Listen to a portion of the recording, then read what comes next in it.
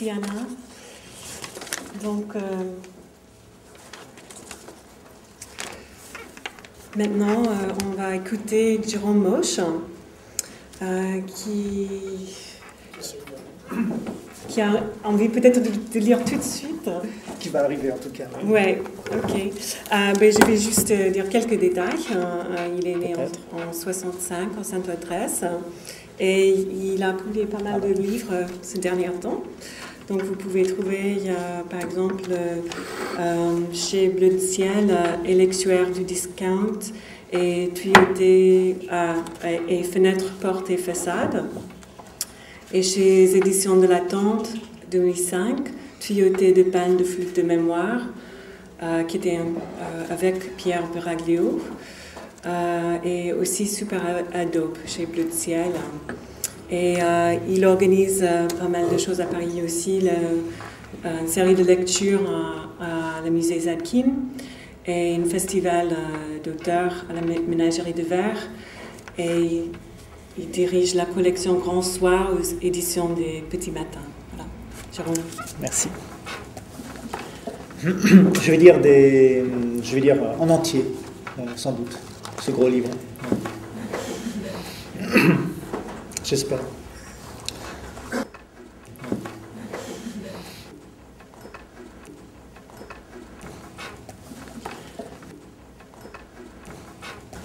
Zéro. La dite nature gélifiée à la rhubarbe, l'arbre naturel au regard du tracteur, naturellement armé, le bras descendant au fin fond de la poche, l'instrument inhabituel, le recevant en pleine figure, la brave nature, qui est au fin fond du prétexte, et de l'arbre illuminé avec un fil électrique attaché, illumine de la facilité avec laquelle, à la conception vraiment harmonieuse, l'attentive qui par les poignets réclame un bon supplice à midi pile, l'activité à certaines heures matinales encore, un grand événement marin en plein champ, un champ désolé d'avoir tant attendu, et quoi donc Quel appendice nasal posté derrière l'arbre, attaché par de petits points de suture, un chemin d'arbres caducés mesurant l'horizon au flair du bon repas attendu, à presque midi moins une alors, une réponse par la poste à un champ planté plusieurs saisons d'ici, habituel, retrouve son bout de ficelle, la fois prochaine, derrière au moins le bosquet, de l'habitude dans la souche, à midi, de regarder vient le repas, aussi l'entaille qui a traversé l'oreille interne et continue à résonner chez le voisin, l'arbre du soleil en débit comme il y a des boissons, des études démontrent la faisabilité de la route en plein champ, à la saison des percherons, pointe son nez. Un instinct, survécu sur la branche, détache de fil de fer et retourne en bobine qui a rouillé, réveilleront la sonnerie du téléphone, délivre ce qu'on avait à pulser, rate la communication alors. Des arbres fabriquent la souche, la branche, en regardant dedans, dans le vrai bois, la leçon collective par les fourrés en traçant si possible un signe, car des tâches suspectes signifient pour les inspecteurs un terre-plein de travail, soupçons déposés en consigne automatique jusqu'à la date d'apparition des premières tubulures chromées, jusqu'à ce que le soir tombe par décision conjointe de l'odorat, du toucher, entre, un convoi exceptionnel passe. C'est d'ailleurs une méthode ouverte qui explique sa politesse et la popularité sur la bataille et en fait un homme que l'on cherche en d'autres lieux. Étudie. Allégorie de l'air. Je comprends qu'il veuille se reposer mais sans en abuser, ce qui ne compense du tout d'après son psy, vieil habitué qui avait négocié la séparation des ménages, non sans y gagner.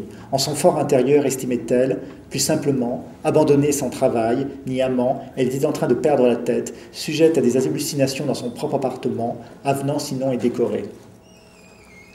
Un sac plastique attaché à sa ceinture lorsqu'il part marcher en expédition, Gérard Biensan désigne cette maison en construction comme viabilisable, bien situé, doté de plus d'un admirable toboggan très discret, permettant sans difficulté à tout un chacun de descendre directement jusqu'à Casal, même si pour le retour il faut compter solidairement avec autrui ou sur le stop.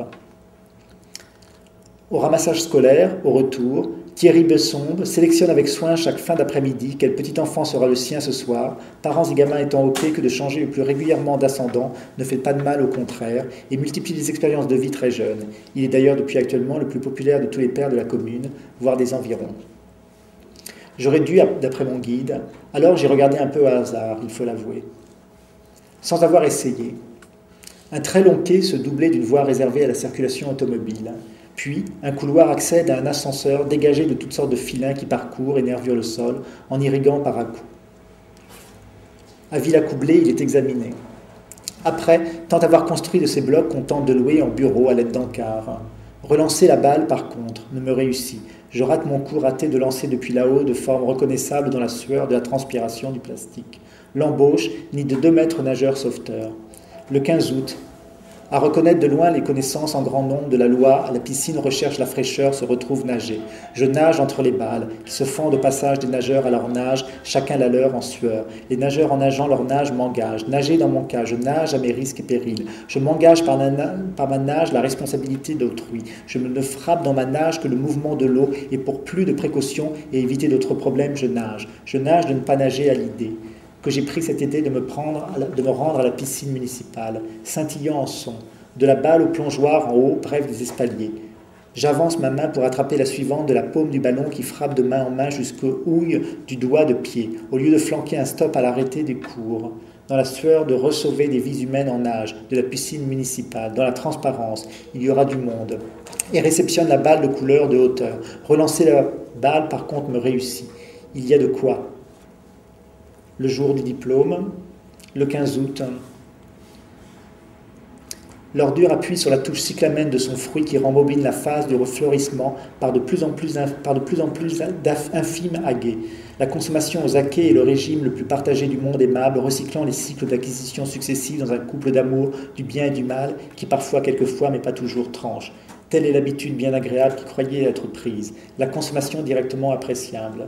Calligraphier au traitement de texte, Agnès ou bien ses filles d'ailleurs, s'était sans doute justifié comme on peut dans ce genre de cas et était passé comme il convient au plus vite à l'offense. Son, message précisait que si l'on a des griefs des, ou des reproches à l'endroit de quiconque dans une maison, le plus simple est de sonner à la porte voisine et de s'expliquer entre soi plutôt que d'en informer la collectivité. Et Agnès d'ajouter qu'elle incitait plutôt sa voisine à en faire autant à l'avenir. Ma mère avait été très prénée de cette affaire. Elle s'était demandé surtout qui avait pu écrire un libelle pareil, la première du moins. Et c'est exact. Il s'agissait forcément de quelqu'un de l'immeuble. Ma mère crut même être concernée par ce mot vengeur. Incontestablement, elle voisinait avec Agnès, mais néanmoins un étage entier les séparait. Il y avait peu de chance qu'il s'agissait d'elle. Mes parents, s'il leur fallait se plaindre, souffriraient plutôt de l'absence de bruit. Sommes-nous si malheureux et nous révolterons-nous un jour, ne serait-ce que pour savoir ce que cela fait d'être exterminé en bonne et due forme, attaché, déconnecté, sachant qu'il se trouve toujours en son temps, confère les cours d'histoire géo, une bonne âme pour vous achever. On a bien du mal d'ailleurs à nous départager, à se persuader que nous sommes prisonniers, garrottés, puis libres de tous nos mouvements. Nous préférons, nous préférons en éprouver le moins possible. Il n'y a eu que le laborantin. Pendant plusieurs années, toutes sortes de monstres marins, Jean-Léonard François était turco-byzantine, expatrié, et n'ayant rien à voir dans cette monstration orientée malheureusement sur les relations commerciales Atlantique-Nord, supplié d'après lui qu'on la retirât de ce mauvais pas, où suite à des intrigues entre conservateurs et commissaires d'exposition, elle se trouvait sans raison d'être scientifique. Bien sûr, il s'agissait de transport d'œuvres précieuses et par là d'intéressantes primes d'assurance, de frais de déplacement et de bonheur pour quelques fonctionnaires, faisant, le mort. Déjà, n'avait-elle pas vécu aux rentes approximativement datées par la mention voisine sous-tachée d'or, les iconoclastes qui en avaient raflé beaucoup défigurés, les musulmans qui la crépirent, pour finir par notre professeur bien-aimé qui d'un coup assomma la vitrine, grand, grand sentimental qu'il était et acteur sur le tas d'un ultime coup de tête Eut-il au juste en si peu d'heures entre ce vieux monsieur flanqué de son assistant malingre à casquette crasseuse et cette vierge déflorée il y a huit siècles qui se ne portait au contraire plainte, retrouvée néanmoins déjà en revente à Anvers, qui est voisin, chez un antiquaire, grossiste, tout de prompt à s'embarquer vers les îles, le, bagage alourdi par le masno et l'univers des formes de chez Gallimard à la fois, ce qui parut étrange à la douane belge et les fit découvrir. D'autant que nous apprîmes que ce monsieur vendait nos projets de thèse, ainsi que des parties déjà écrites à la relecture à d'autres étudiants jusqu'aux États-Unis, où nos travaux étaient recopiés, traduits à l'identité négocier de nouveau sans copyright et droit d'adaptation pour la télévision peut-être, alors que nous rêvions stupidement de bourse Faucillon et de l'été à la Fred Collection. Aussi, mes compagnons de thèse et moi, dans la cellule, n'eûmes pour notre vieil enseignant aucune pitié, et après avoir consulté notre iconographie classique, le dépiotèrent de toutes sortes de manières, faisant justice à la cambise, euh, laquelle néanmoins retient toujours le visiteur, le fait incarner un court instant, et ne la désemplit que lorsque le musée à son tour ferme. Roland Harfeuil, depuis la, colline, communique avec son vieux frère en agitant les bras, comme les sémaphores le font sur les bateaux en pleine mer. Mais des travaux en cours de construction, d'un relais télévisuel et de téléphonie mobile, le contraignent à réduire à tout bout de champ ses messages pour ne pas concurrencer si durablement ces nouvelles technologies, en général plus fragiles. Les retombées chimiques feront de petits bonhommes animés, s'installent dans les bois avoisinants, et on confond le camping, cette façon simple et évidente, naturelle de vivre, comme nos ancêtres eurent répugnance à s'asseoir directement au sol, nous usons du plastique d'un champignon de coloris vif, acheté au supermarché, la charrue à la main la place de la main, le dodécanèse autrefois sur une carte, respectable proportion que le chef de rayon essaye de retrouver, en étalant la nappe surprise parmi les ustensiles de cuisine, sans autorisation, ce qui tombe, un feu de bois de cheminée. Pend lamentablement, accroché, de plus en plus pendant à la micro-pointe du mur qui les répercute comme un bruit. Les bruits se passent des images entre les locataires selon les générations successives. Les images sont esthétiquement accrochées au plafond du mur. La cloison entre les locataires n'est pas toujours suffisamment repeinte, épaisse, pour ne pas laisser les images générationnellement selon les goûts socialement définis percées. La pointe fonce dans le mur entre le séjour et la salle de bain. Une image insidieuse à cet instant de la douleur. L'image accrochée se porte à la micro-pointe enfoncée en direct de la salle de bain. Fille espère dans une fente de cristal au cœur de la matière. Père et mère ont pu trouver refuge. Elle est certaine que les recherches scientifiques de son père doivent avancer. Ce matin, fille est réjouie. Elle est en détention toute seule. Et réellement, une denrée à ses fourneaux, Michel Langel déconseille, toujours avec extrême modération, l'usage plus volontiers du gaz que du courant électrique, par souci écologique d'ailleurs. Nous nous promenions alors en moyenne montagne. Ils sont embêtés. Vu la drastique proportion envenimée entre des décisions qui tranchent, mais néanmoins sont prises à la majorité des voix des présences excusant. Les entrées font la force. La profession est créditée selon les statistiques d'une proportion d'aspiration toujours forte socialement. La profession s'est réjouie par le haut de se savoir grandement complète, satisfaisante, mais vue de loin. Les aspirations aussitôt prises. Assaillies sur son balcon de fines herbes. Lorsque je remontais en surface, la compagnie de tramway et de métropolitain valida, trois mois, trois ans après mon ticket. Je le compostais, ne l'ayant pas encore utilisé. Il y avait de la place vers l'arrière. Les essieux avaient, avaient nettement gagné en confort et silence. Par la vitre, petit à petit, l'effet d'un principe de précaution expansive. La ville était partagée par un fleuve côtier de deux côtés et disposait de divers moyens de communication autrement plus pratiques. Ou plus sûrement, lorsqu'il vous semble au sol que des points ou du gravier avancent. D'un autre côté, il est resté sur la couverture en sky plastifiée. On raconte le cas de ce collectionneur. La maison était sur un quai. S'avère merveilleusement efficace. Par bonheur, toujours aguerri. Parviendrait-il à titre posthume à finalement prouver un lien de parenté ténu et à, hériter gros, donc? Mes parents étaient sortis pour faire quelques courses. Au bourg, Valérie Arnaud, laveuse par sa grand-mère, renverse la vapeur à granger de son fer et avec élan, plus qu'il ne faut, appuie, sur le plissé rebelle du col d'un chemisier particulièrement aimé entr'ouvert.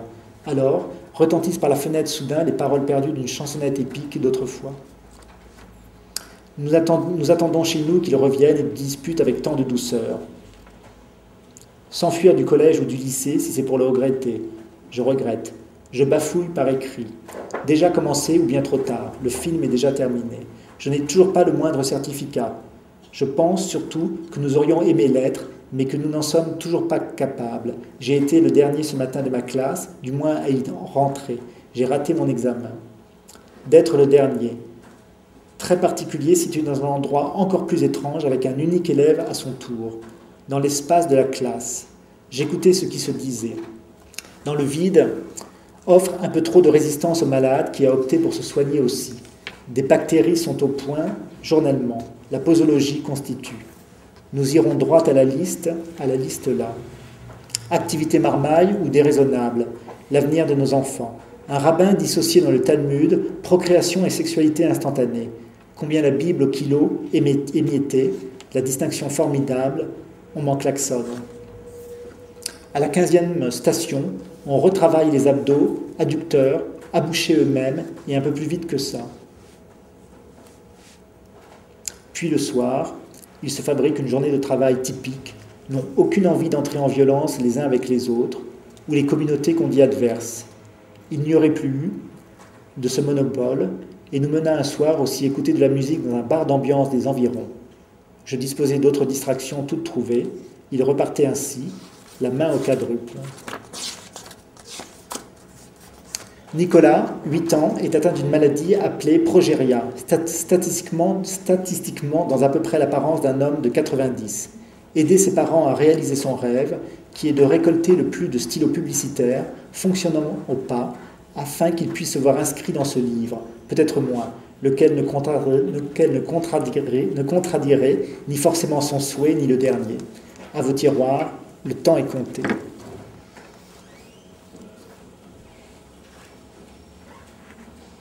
Il existe déjà plus de 200 leçons dans ce livre pour apprendre le langage universel des gestes. J'en étais à la 27e quand je suis sorti de la chambre en claquant la porte. Les touristes ou autres dorment chacun dans leur chambre bien tranquillement. Quand la lumière sera, je dénicherai cette femme dans cet établissement qui n'est pas si confus en soi. Elle a quitté la chambre tandis qu'il se déchaussait bruyamment.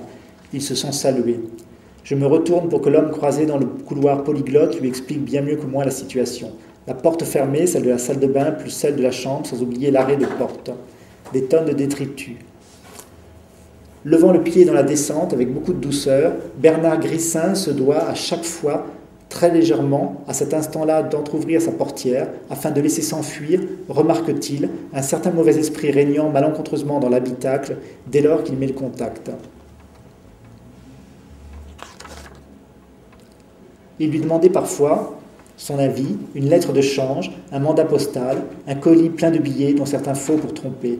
L'autre relevait la tête, lui conseillant d'aller dans son travail se renseigner discrètement à la mairie d'arrondissement qui saurait l'aider dans ses premières démarches. Il prit son piolet.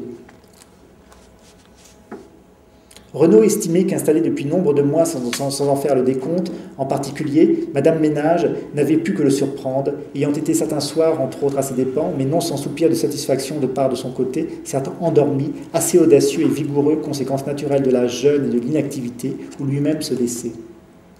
Ce fut une avalanche d'insanité furieuse mais réjouie, qu'heureusement suivie à quelques microsecondes de battements et de réactions, l'afflux de milliers et innombrables connexions aussitôt se liant sur Internet qui contrebalancèrent par chance cette vision rétrograde de la scène de ménage d'un homme se le permettant avec les siens et beaucoup d'injustice. L'habitude de sous-titrer, parfois le nom de la rue, parfois moins en une langue étrangère qu'en bâton de caractère et autres mentions, précisait ses qualités et traits de sa mention toute faite. Elle bégayait comme un petit discours, avec date de vie et de mort, et des autres, lui referait bien, comme un bord de lac.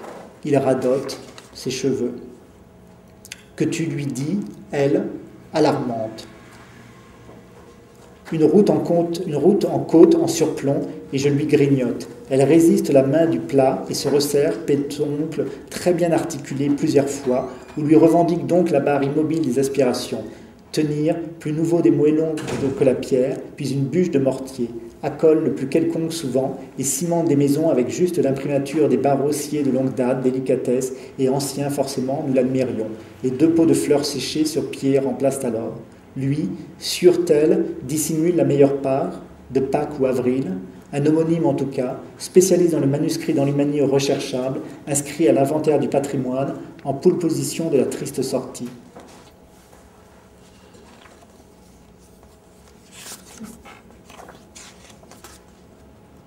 Nous sommes partis tous les trois, nous quittons, le paysage est tout à fait différent, il est changeant. Je peux difficilement dissimuler à mes deux amis que je contrains et forcé, j'en ai été réduit à m'amputer de la main. Je me suis blessé accidentellement, mais sans gravité, en coupant. J'ai failli briser net dans ma chair la lame de mon couteau de poche. La lame ne devait pas être très bien désinfectée. Une opération de ce genre, même en se promenant en moyenne montagne, nécessite l'opération stricte de règles d'hygiène. Simplement, puisque j'étais blessé au doigt, j'ai voulu me soigner. Nous discutons tous les trois. J'estime ne pas leur avoir menti. Cet homme, on fait l'addition, exprime la nuit avec son épouse et pour le jour se distinguer. Il laissa porter la barbe fournie, la floraison comme une lumière indirecte ou instante. Lui demande Étions-nous de la rubrique? Oui. Voulions-nous à bâbord changer réellement, vraiment l'année des poupes? Moins sa modalité du moins Non Non. Merci.